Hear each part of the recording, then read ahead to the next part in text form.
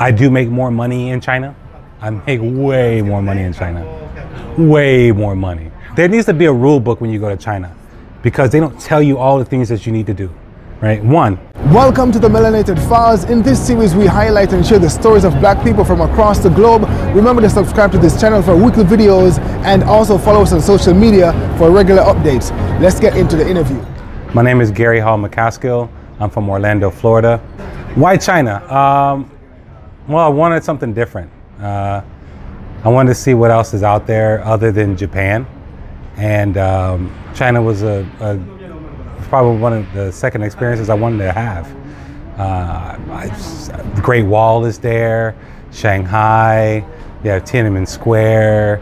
You have a whole different culture, you know, and it's something that I think that would be wonderful to, to check out and, and visit and see.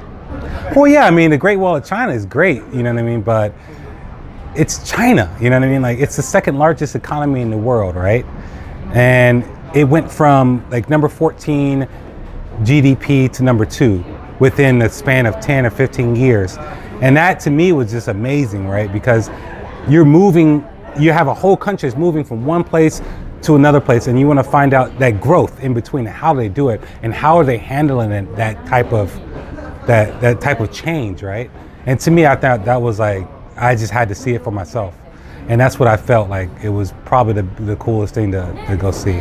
Um, I first came there with a company called uh, EF. Uh, EF was a, a really good company, however, they don't pay so well. Um, so I I had to I had to quit that job um, and move to a different company uh, that pays me more. It was just just that. Like I love teaching, right? And I want to have a chance to be able to to grow as a teacher. And one of the ways I was going to do that um, is by challenging myself. And right now I have a job um, teaching Montessori. Uh, Montessori is a technique that was that was built uh, from an Italian woman, um, and it's a natural way of teaching. And I think that it would be a great thing to learn, especially to to gain that information and take it back to America, where I can therefore, you know, put it to use. You know, a lot of people ask me they they ask me about comparing Japan and China, um, and I have to tell them like to be honest, you can't really compare Japan and China. You can compare America and China. Um, for for example, right. Um, if you do want to compare China and, and Amer- uh, China and Japan, you can in this way. They're Asian. They know where they, they, they know that they're Asian. That's pretty much about it where it comes to comparisons. Um, China has a whole different set of rules, right? Um, act- they have a lot of the rules that Japan has, but they just don't give a damn. They don't follow it, right? Um, Japan has is is completely different in the sense that they're very isolated, so they don't really want to have anything to do.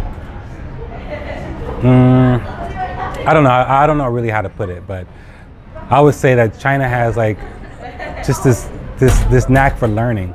Um, so I teach English, and as an English teacher, you want to have people that really like you teaching, right? Um, and just in China, like they really want to learn English. They really do like it. Uh, Japan, they, they do it for for fashion. I'm learning English for to to, to get to, to, to meet people, right? Not really to actually learn it for money. And China's all about that money, yo. All about that money, son. It's just straight up gangster with it. Um, you go talk, you talk to a person in China, like, why are you trying to learn English? They'll tell you, money. I'm like, why? They're like, because I want to get a better house. I want to be able to make make something my, for my family. That doesn't really happen in Japan, right? Um, so that comparison between America and and China, well, they they care about me, right? It's a me society, just like America. America's all about me. It's like like like De La Soul, me, myself, and I. You know what I mean? They're all about themselves. Um, they're care they're and they're straightforward too. So Chinese people like you ask them if you like something. And the same question in Japan, you're like, oh, do you like this? They're like, oh, ma ma injanai, it's good. But in, Ja- in China, you ask them, do you like this? And they don't like it. They'll say, nah, I don't like that. I ain't with that. and that's just real, and I, I, I like that about.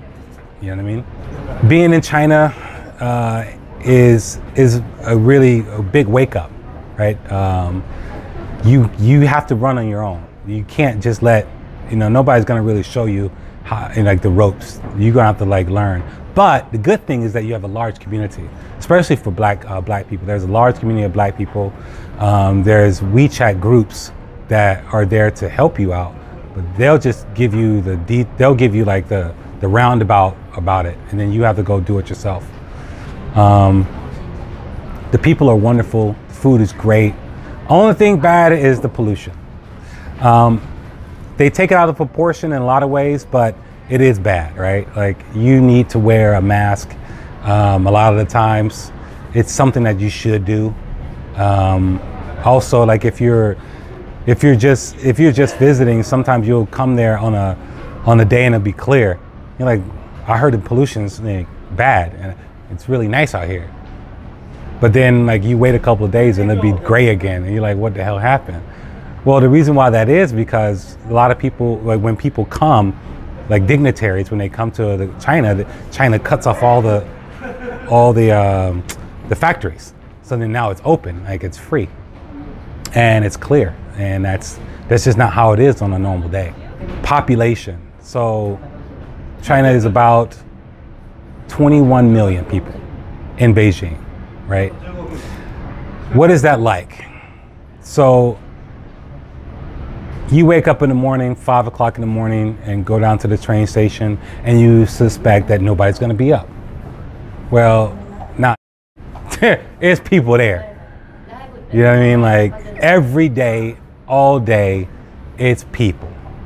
Like if I had a Thanos like Infinity Gauntlet, I go like, gone, gone, because it's so many freaking people, and it's just it's nothing you can do about it. You know what I mean? Um, they don't follow the rules like in Japan. You have people line up for the train. When you get off the train, people line up. No matter how long that, that line takes, they'll they'll line up. Not in China.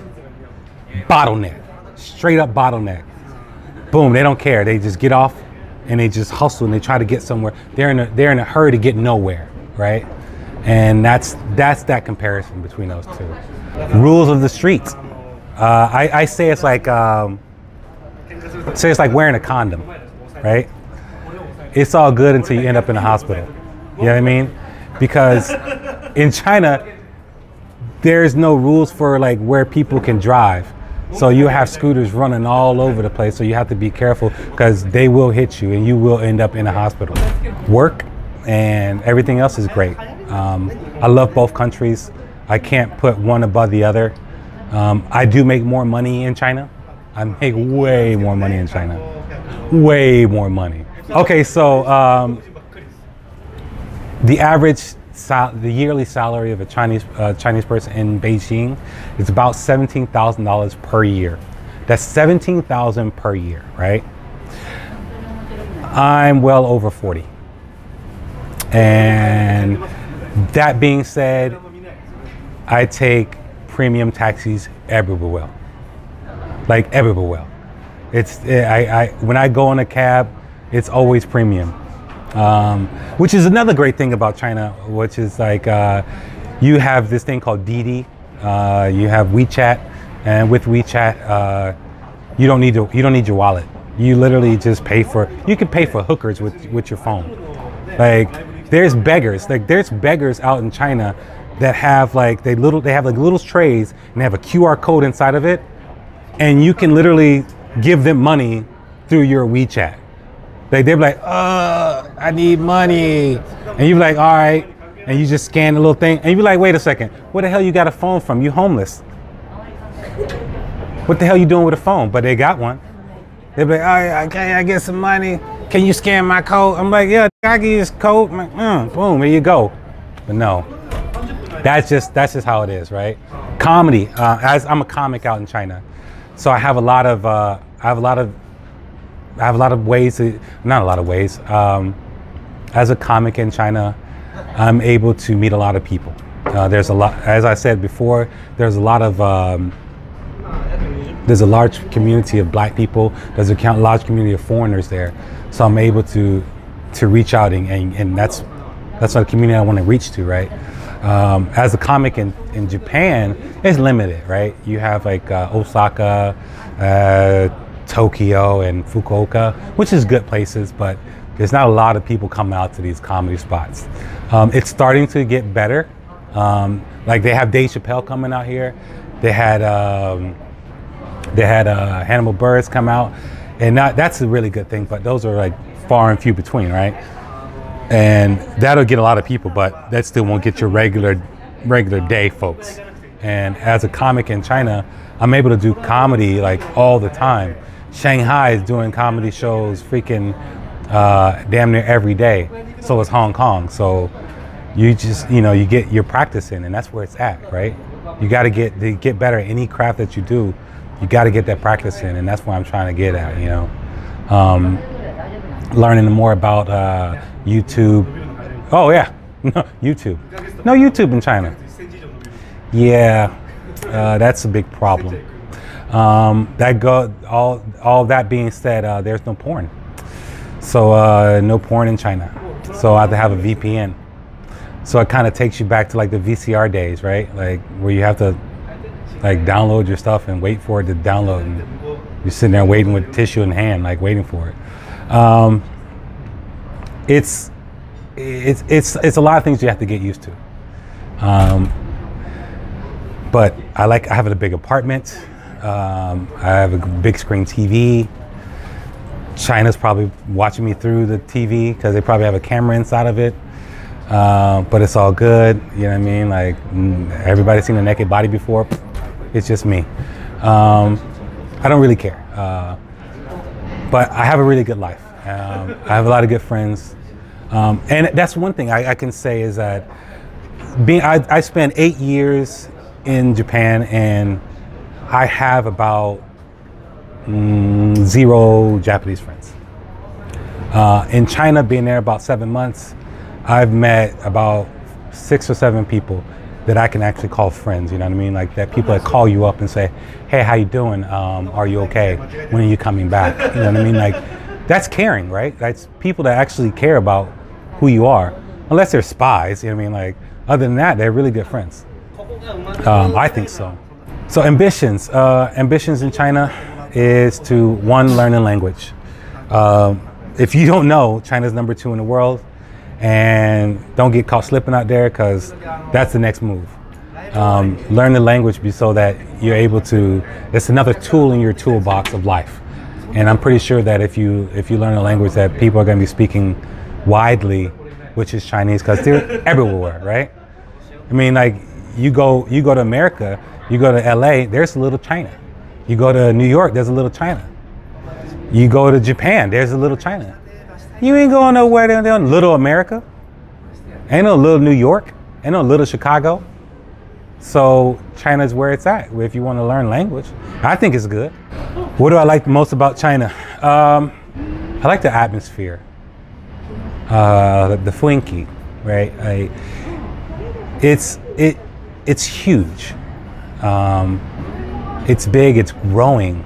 It's a megapolis, right? It's it's it's a whole different world, right?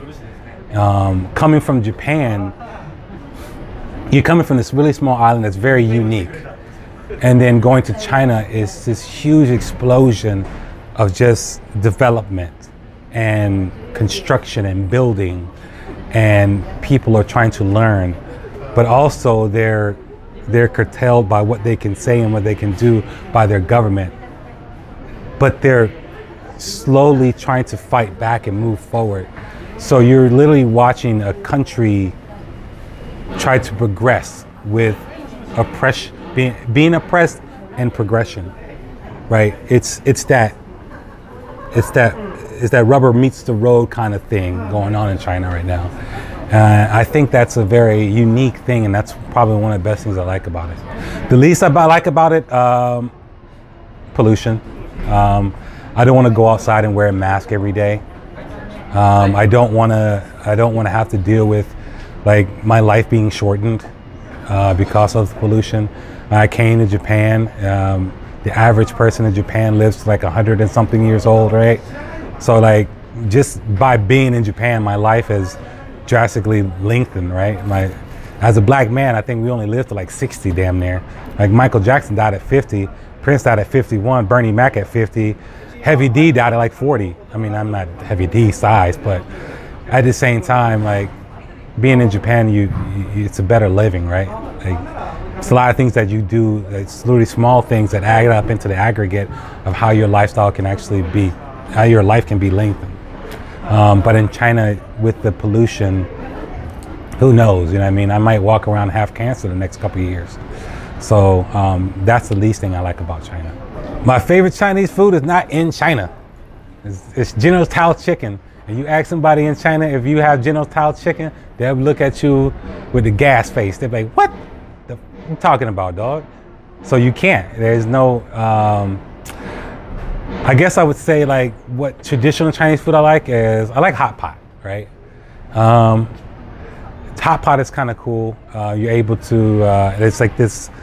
It's kind of like uh, shabu shabu, or you have this huge pot, and you basically put all your vegetables and meats in it, and you can have a spicy side and you can have a regular side. And the spicy side of it is Szechuan uh, spices that kind of make your lips numb. Um, it's not like really spicy, like what we what we Westerners might consider spicy, but it is. It's kind of cool. Okay, uh, best advice I have is uh, my dad told me when I was young. He said, while you're living, experience as much as you can because experience is what is going to make you a better person, right? Um, that's probably one of the best advices. Uh, advice about Japan um, came from a couple white guys that are business owners here. Uh, they, I asked them about like making money in Japan. They said, "Get the hell out." And I said, "What do you mean?" They said, "Get the hell out. Get out of Japan. Go back to wherever you're from. Get a job that can send you back to Japan. And then when they send you back, Japan's going to pay for it. So they're going to pay you money. That's how you make money in Japan. Um, that's one way. Um, but there's a lot of other ways too, right? Um, there's a lot of people that are, that are doing startups. There's a lot of people that you might see on this channel, right? That have uh, been very successful. Um, life advice for China. Uh, three T's, don't talk about them. Uh, Tiananmen, uh, Taiwan, and Tibet. Uh, if you don't know, look it up. I'm not going to talk about it because uh, it's on YouTube and I don't need nobody, I don't need the extra stress, right? Um, but you can see what, what Trump did and, and, and how he got in trouble with calling the president over in Taiwan, right? Um, life advice is you can get it from everywhere, man. But the best thing is just keep living and, and have as much experience as you as you can. My earliest memory in life, wow, wow, it's, it's I feel like a documentary. I'm about to get, I'm to start crying over here. Um, I guess my earliest experience in life would be uh, living with my, going to my grandmother's house every summer. Um, I would wake up and it would be some, like we just got out of school and you know you wake up and then like your dad gets everybody in the car and we all go down to grandma's house. And that kind of like just going to go see my grandma and, and it's just me and my brother. And it was just that was the beginning of summer. Like you knew summer was here when you started to go to your grandma's house. That's my earliest memory. That and picking a switch from uh, a tree because you you did something wrong. And having to pick a switch from the tree to get your ass whooped is kind of a it's a memory that you won't forget so my black experience in China. All right, uh, so a lot of people think that there's this stereotype about black men uh, having, you know, big. Yeah, uh, some Chinese people think that that like that's like way like they're scared of it, um, but uh, they'll ask you about it, right? Uh, the same thing in Japan too. Like you go to onsen, and you have like these grown men looking at you like, you know, it's like, dude, what's up, man? Gay? Stop! like, I don't wear number two, boy. You know what I mean? Um, yeah, that's. But I guess like the black experience in China, they don't they don't bother you. Um, there is no there is no uh, police looking at you, right? Uh, you can look at the cops, you can say hello, but it's a very militarized country also. So um, I feel safe. Right? I feel safe. I feel I don't feel like there's no problem with me being a black man in the country. Um, there is racism there. Um, it's really funny. I found out one of the words that they call uh, black people, one of the racist words is uh, a, a black ghost. And I thought that was like the coolest like slur you can have because, yo, I would love to be a black ghost. Like I'm like a ninja, son. It's like, yo, who's that black ghost? I'm like, all right, poof, I'm out. You know what I mean? Um, that's pretty much it. So the funniest thing that happened to me in China. Um, when I first got there, uh, okay, so there, there needs there needs to be a rule book when you go to China, because they don't tell you all the things that you need to do, right? One, you need to have WeChat, right? Two, uh, you can't drink the water, and three, uh, there's not always toilet paper everywhere. So I went to my job, and I got I went to my job the first day, and I have to go to the bathroom, right? So I go into the, it's in an office building. So it's, you, you think this is a really nice office building. Walk to the bathroom, you know, number two, and I'm looking for the toilet paper. Well, I see a bucket. And then it's, and I'm like, it's a bunch of toilet paper sticking on the bucket. I'm like, oh, okay, that's where they, it's China. Maybe they do it different here. They put it in buckets. I reach down in the bucket and pull out a piece of toilet paper that was already being used. Yeah, uh, it wasn't cool, yo. So I just tore off that piece that wasn't used and went to work and cleaned my ass and went back to work. And I was like, yo, what's the deal? He's like, oh yeah, you gotta bring your own toilet paper to the bathroom. We didn't tell you that. And I was like, word? Really? you would think you would tell somebody that, you know what I mean? Yeah, there was there was like soap and water, but no toilet paper. Like you have to bring your own toilet paper to it. All right, so as a black guy, um, we we I like I have rhythm. So I'll get on the train and I'm listening. I just listen to that Daytona Pusha T, and I'm just sitting there listening to it, you know, and I'm, I'm just and I'm bobbing my head and I'm like, uh I'm just listening to them. I'm, I'm, in it. I'm in it, right? I'm in that moment. You know, like you listen to some good music, you got it bumping, you're just trying to chill, you just get through your day. You know what I mean? And I look over, and these Chinese people are like looking at me, and they're like, "What the hell? What the hell is this guy doing?" And I was like, "Yo, this this is hard, right?" So then, like, I, I take out my earbud. I'm like, "Yo, this Pusha T," and I, and I toss it to him. And then like he's like, oh yeah, that that's it, that's it.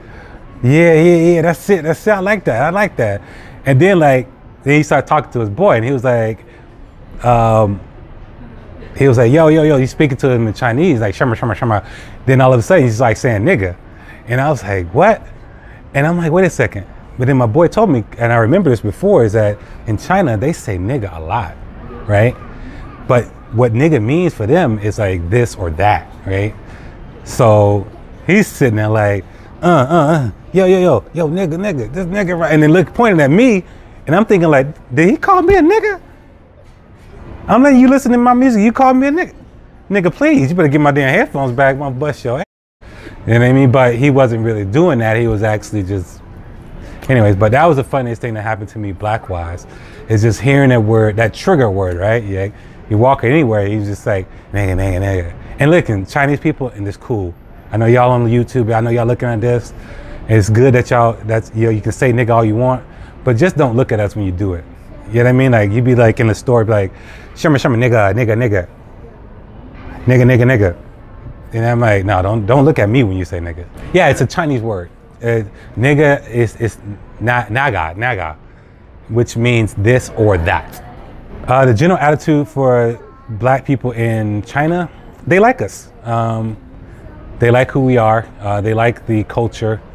Um, rap, if you haven't, uh, if you haven't looked out and, and, seen it, but it's it's taken over the world. To be honest, right? It's all over the world. It's in Spain, it's in France, it's in Germany, it's all around, and that culture is ours. Started in Brooklyn, right? Just from a ba- from basement parties back in the back in the day. You know what I mean? I grew up learning what hip hop was with Run-DMC, LL Cool J, Kool Herc, these you know pioneers of hip hop. You know what I mean? And the Chinese people are just learning what it is, and they're they're getting into it. Um, but it's being quashed by the uh, the powers that be, right? Um, they seen Black Panther, they think it's cool, right? It's like one of the it's, it's really big movie, right? Um, there's a lot of Africans in in China, um, which are and they're they're beautiful. Uh, they have a really great culture and they're really good, uh, I guess, ambassadors of what blackness is, right? Uh, there's Americans out there too, and it's it's just a, a, whole different world for them, you know, and they, they're experiencing it through us. So, hmm. so uh, black related products, uh, cocoa butter, son, cocoa butter. That's what life is all about, right? You know what I mean? Like you got problems, it's cocoa butter and Robitussin. Can you find those products? Yes. You just have to you just have to get into these groups. Blacks in China, uh, it's a WeChat group. There are Black Americans in China. There's a WeChat group that you can you can uh, get in contact on WeChat, and they have all the products. Uh, there, if they don't have them, they know somebody who does. So you can definitely go and check it out. So uh, black barbershops in China, I don't know because I'm bald. Uh, this happened uh, around my, my, my, my early uh, 30s. And it's just, I didn't have to worry about barbershops after that. Um, I don't know. Um, I don't really know. I know there are um, some, some so black barbers out there. Right? Yeah, this is all, this is straight Mach 3, baby. I mean, like, just shaving cream, just hit it up. You know, um, every every other day I, I, shave my own. I shave myself. Um, are there black barbershops? I don't really know. I think they are. Not really sure where they're actually located at, but they're out there. If I could change one thing in the world, um, probably the way that black people communicate with each other. Um, for example, like right now, like I'm here, I'm talking to you. Uh, you're out there on YouTube and you're looking at this and you're seeing that black people are in different places. And it's not to say that we're not doing well now. I think we can do better. Like I'm, I'm sure we can. Um, I, I, I, want black people to be able to, to communicate and, and, and, learn from each other and not have and, and grow together. There's a lot of other cultures out there that are that work together and they're, they're doing a lot with themselves. And I think I see that in the black community. I just want that to be changed to be maybe expanded more, right? To be able to get out there and, and reach more people.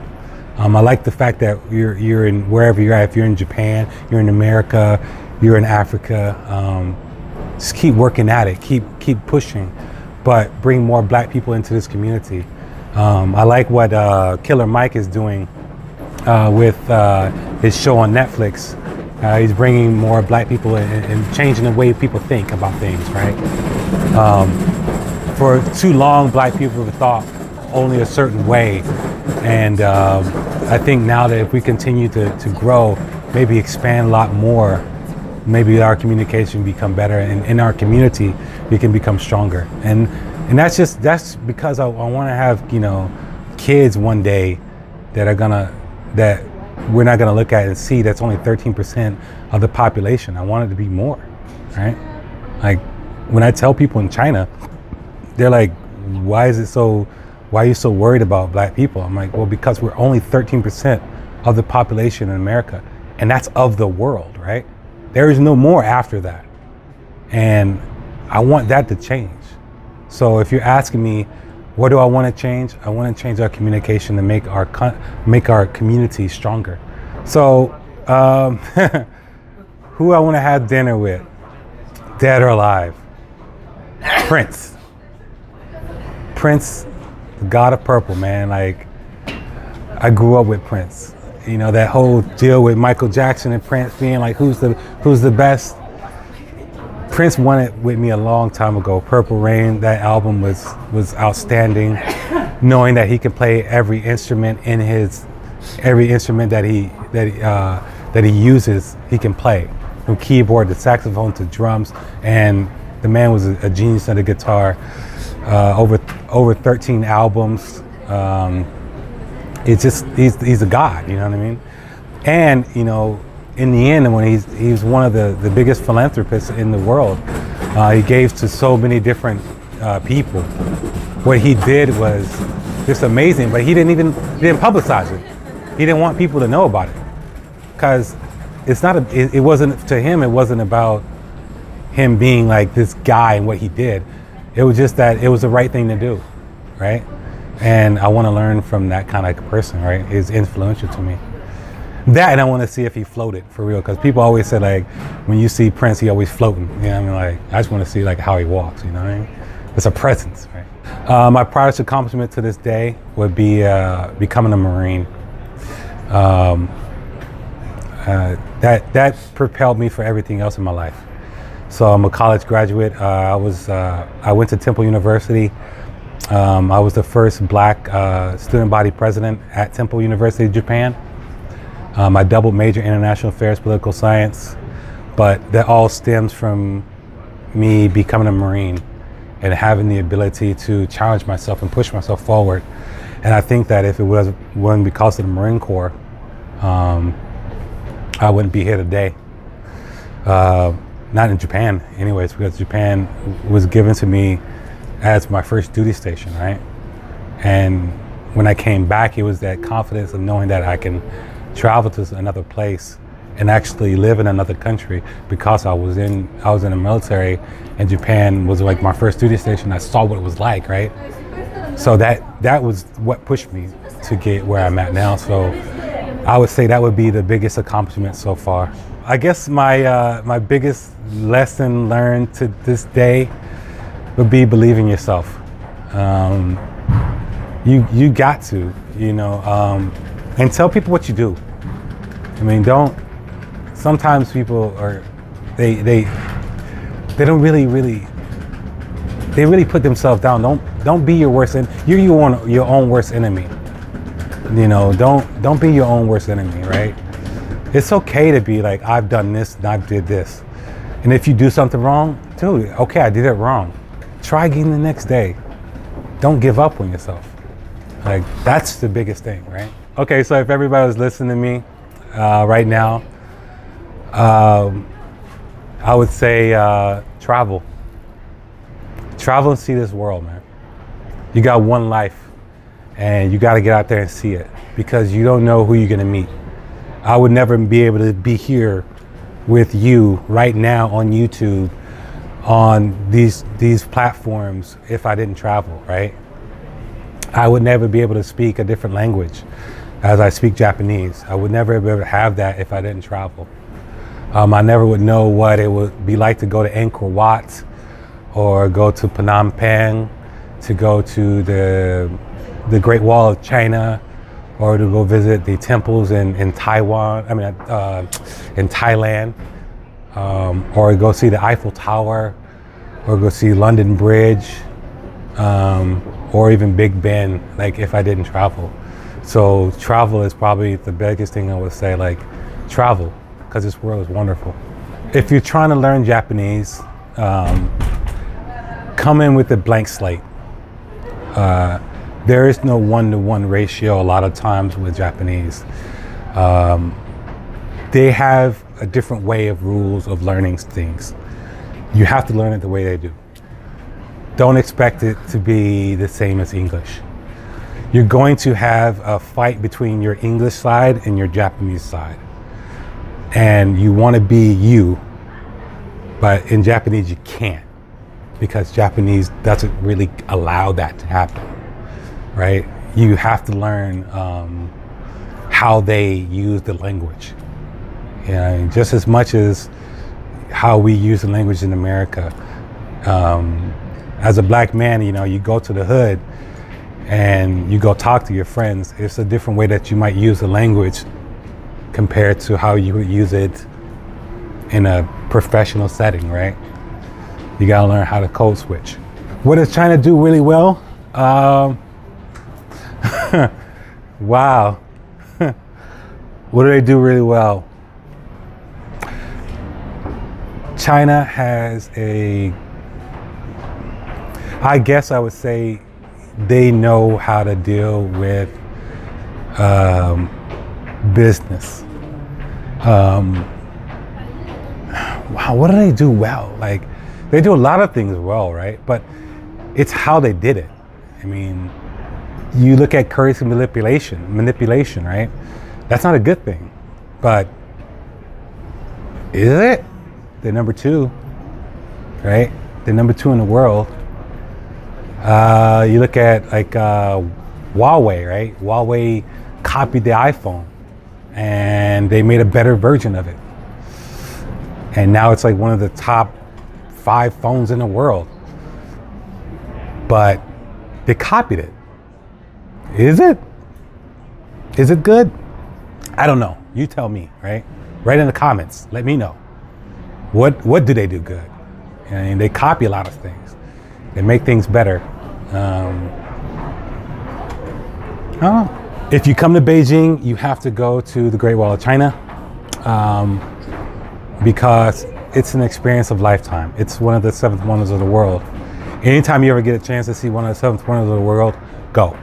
Like, don't waste time. Don't don't give me that excuse like, oh, I might, I'll, I'll check it out next time. No, go do it because you never know when you're ever going to see it again. Um, it's beautiful. It is stunning. It's it's huge. It's worth it. I think one of the biggest misconceptions for me would be like that it's not safe. Um, people think it's not safe, and it's not true. It's very safe. Um, other than pollution and crossing the street, you're pretty much safe in China, right? Um, that's a common misconception. Um, another misconception would probably be like the food, right? Like people think, oh, what's the food like? You know, what I mean, are they eating chicken legs and like, I'm like feet or whatever? I'm like, yeah, they eat that, but they also got a McDonald's, they got KFC, uh, they got tacos. They ain't got Taco Bell, but that's a good thing, right? Um, they have all Western foods. They have all types of foods, really. Um, common misconception is that their food is not good. It's awesome. Um, I, I would put Chinese food over Japanese food. Other than fish, like Japanese, like their fish is really great here. But I, I, I just wouldn't, I don't really eat the fish in, in China because it's China. What do you mean by it's China? Well, I mean, so if you ever if you ever fly to China, um, get a window seat because when you go over, you're going to understand why they're number two G, uh, GDP in the world because they make everything. And along with making everything is that they ship everything. And being that they ship everything, you see all these ships inside the waters. And all these ships create pollution. There's no EPA in China. There isn't. So when you're flying across the waters, you're gonna see a murky water, and whatever lives in there, I ain't putting my mouth on it. Okay, I'm not eating it. So that's why I don't eat the fish there. Do I encourage black people to go to China? I encourage black people to go every goddamn where. Go places, black people. I'm seriously. I got my cousin right now. She's gonna be coming to China, to come visit me um, next month. I'm happy. Go, go do it. And don't tell me you ain't got money because they're like, oh, when you coming back home? And they're like, when you coming here? Oh, I ain't got the money. It costs as much as it costs for me to go home that you come here. It's the experience that you're gonna come see me. Um, travel. Like I said, man, you, you have to. Life is all about experiences, man. It's about experiences and responsibilities. Put one on yourself. Go do it. If you're coming to China, uh, the first thing you need to do is get a VPN and bring some lotion. Um, because you might be hard pressed to find cocoa butter. But we do got a Walmart though. We got a Walmart and a Sam's Club, son. We got Sam's Club. That's off the chain. I get Australian beef all the time. Um, but before you come to China, get a VPN. Um, and just know that there's video cameras everywhere and they will videotape. They will anywhere you go, you're gonna see street lights and stuff like that. There's there's over a million cameras in China.